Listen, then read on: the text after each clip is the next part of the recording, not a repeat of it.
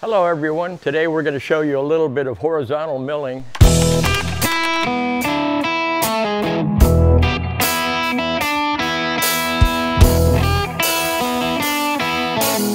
This particular job I'm setting up for another application we have here. We're cutting a 5 8 key for a base plate on a riser block. I already have the machine set up to where I've got my 5 8 key slot cutter over here. I have the X and the Y dimensions set to zero and I'm about a half inch over contact point to start machining my key slot.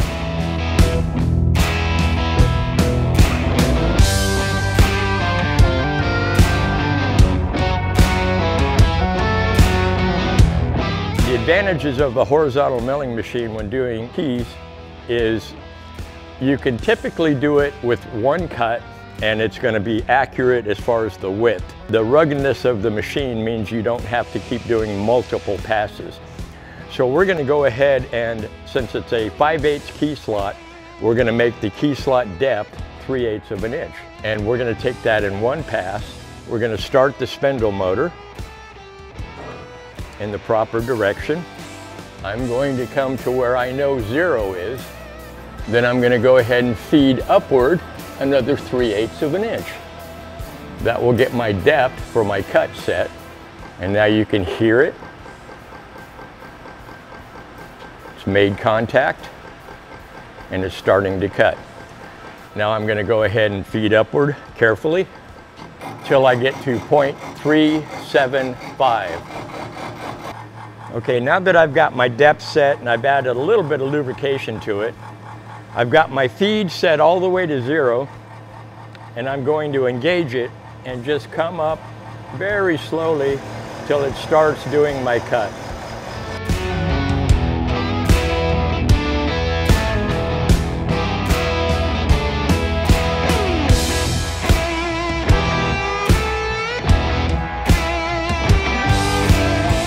What I'm looking for is to get about six and a half inches on my X before I stop cutting.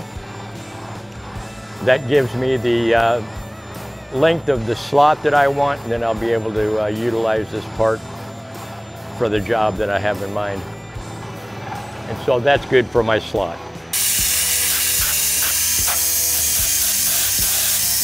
Take a look inside the slot. We show you a nice, nice finish here, nice finish here. This is going to be perfect for a 5 8 inch key slot.